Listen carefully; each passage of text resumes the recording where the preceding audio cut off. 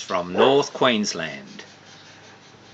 I'm doing a series on the phorid fly and its management with the local species Tetragonula hockingsi. This video, introduction. So, what is a phorid fly? Well, there you are. You can see the buggers. They're running around the place at the moment. Note their size, but half the size of a normal bee, but you can tell them by that darting motion. You can see it all around the place there.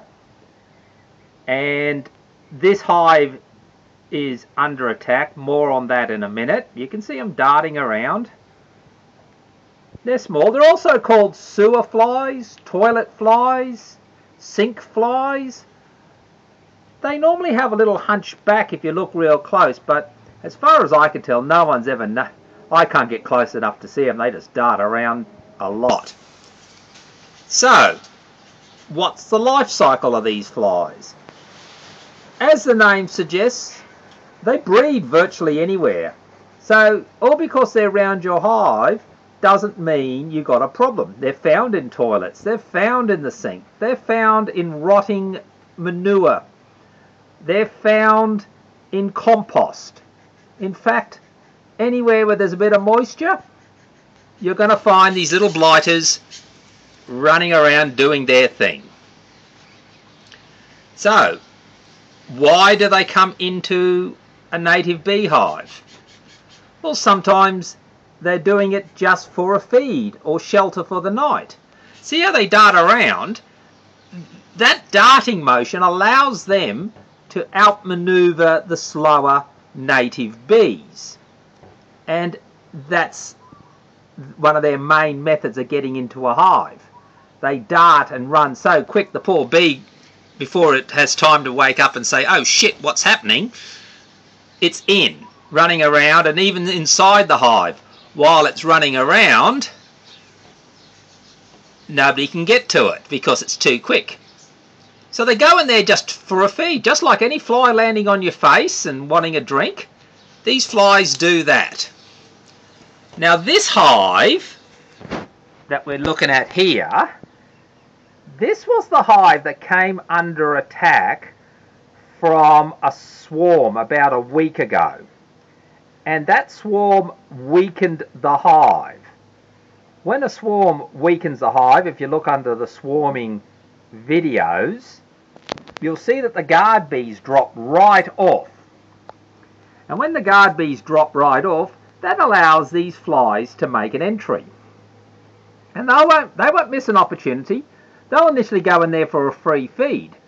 But if they think they can get away with it, as you've seen from the management series coming up, they'll actually try to breed in it. Just like any fly laying maggots on a suitable food source, these flies will do the same thing.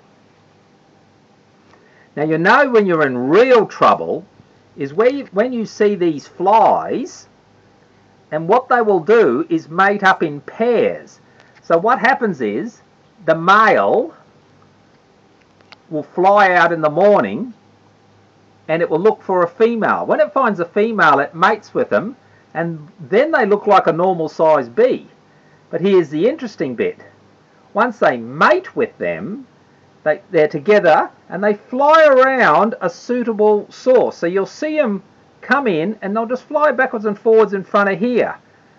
And real crafty for phorid flies is the male will actually guide the female almost to the entrance and then disengage from the female and the female virtually just walks straight into the food source, in this case a beehive.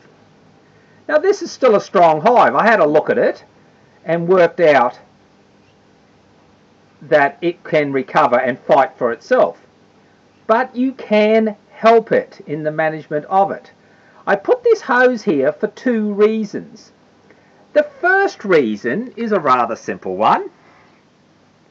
Yes, it's to force the flies to show themselves. Otherwise they just dart straight in and you don't see them. So that's to show you the little flies buzzing around. And I think in the video you would have seen one crawl into the tube. Now, if the bees can pack a tube dense enough, hopefully we can get that. Oh, I don't know if we can or not. Not really. I'll show you another hive that's very healthy. And uh, you'll see what I mean by dense enough. If you pack a hive dense enough or make the entry tunnel long enough, the bees will actually eventually catch the flies through just sheer luck. And they kill them. And I've seen this hive removing phorid flies and their eggs.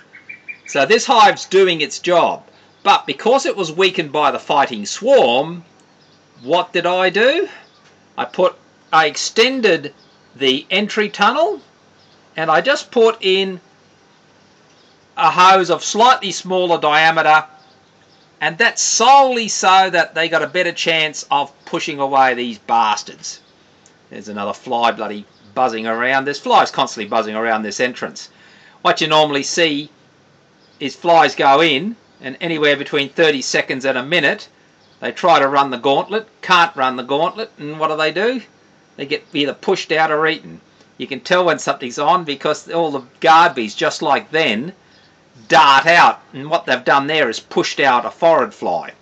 So when you saw that motion, that darting out of the head's motion all at once, they pushed out a phorid fly. So they're repelling the attacks of the phorid fly. So this hive's doing okay. It's a bit like a medieval castle and watching them repel the invaders. That's what they're doing. But if you want to see how dense they pack an entry, oh, before I get onto that, how do they attract? What happens is, oh, I'm getting myself all tongue-tied. Untongued. Where's that bloody tongue denotted? There's that tool. Yeah, got it. All right. To attract more flies to a hive and overwhelm a hive or a food source is what we're looking at for phorid bees, you've got to somehow attract more of your mates. And if you ever squash a phorid flies, it's got this very acrid uh, smell. And when they get into a hive, they release that smell. You can smell it at the entrance sometimes, and that attracts more phorid flies to come have a look. See, there's one there crawling around the back at the moment. And they'll try to find ways into the hive. But if they can't find a way into the hive, what do they do? They'll just mass in at the front. Now, they'll charge the front. As many flies as possible to overwhelm the defenders. So what do native bees do? They pack the entries. What deters phorid flies is a strong hive with lots of activity. The activity of bees around the front deters them from looking in the entrance hole. So, a good strong hive. What's the second thing? Let's see if I get that right. Yeah, packed um, entry hole to the tunnel. Utterly packed. There's about three layers deep in there. You can only see the first layer. They're all in defense mode because there's phorid flies everywhere at the moment. And why are there phorid flies everywhere at the moment? Well, that's because we're in drought in Townsville. And when I checked what hives were attacked by the attacking swarm, what did I find out? Well, that's interesting there's a, there's a young male being chased out of the hive. That's a male that they don't want, and so they're chasing it out. It's only just hatched, but it's been determined as no good. They've evicted it. More on that on another time. So, with this drought, all three hives that were attacked had a decent food store in them. This one repelled best. The other hive round the corner um, got damaged severely, and that's what attracted the flies. And the other hive in the series that we're repairing got a major infestation. Interestingly, the drought is so severe that I had a number of other hives that weren't attacked. I wondered why. Well, that was easy to determine.